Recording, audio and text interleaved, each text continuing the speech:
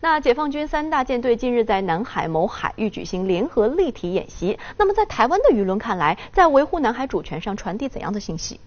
呃，对台湾来说，我们觉得解放军啊，或者是中国大陆对于南海主权的维护的意志是非常坚定的。而且呢，因为现在的海军的发展。的规模还是有限，所以呢，用三个舰队的一个灵活的一个编组来进行南海的一个维权的一个动作，表示啊，表示什么呢？表示说，现在中国的一个单独的一个军区来维护它的整个军区的力量可能还不足，因为如果单单针对南海或者单单针对日本来说。单独的来说应该 OK 的，但是如果说有美国的介入的情况下，那以依靠南海军区或者东海军区或者北海舰队，他们本身来单独的呃来负责他们的呃战区的管辖的这个能力，可能又有所不足。因此，在这个舰队的联合编组运用的情况下，力量是可以调整的情况下，反而可以达到集最多的优势兵力，或者我们叫做利用集。呃，力量集中的这样的一个原则，